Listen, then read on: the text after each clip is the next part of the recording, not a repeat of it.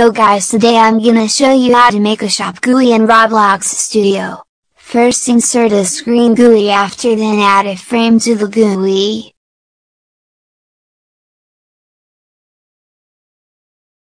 Now make it bigger and change its color I will make it purple.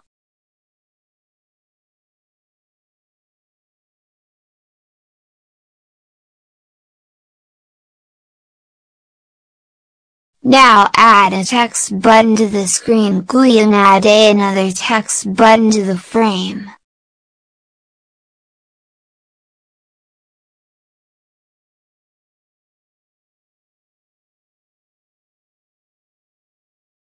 If you want to make the frame and the buttons look better then add to them a UI corner logo.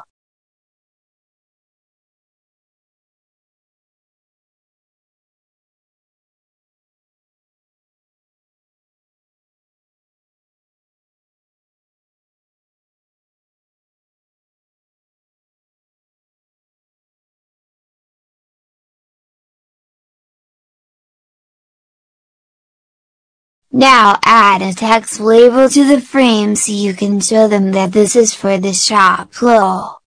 Open the Properties tab and set the background transparency to 1. Set the text to shop and make the text scaled.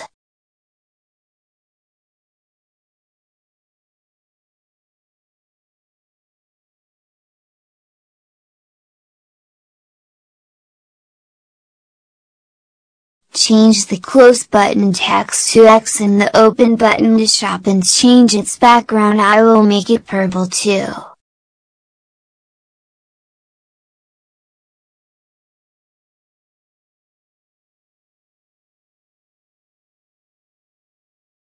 Now on to scripting.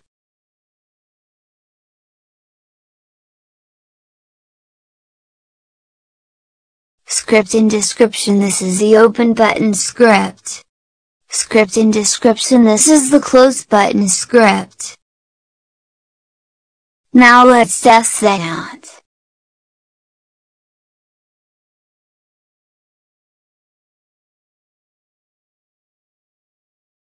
Works perfectly if that helped you out make sure to like the video and subscribe and tell me what to do next.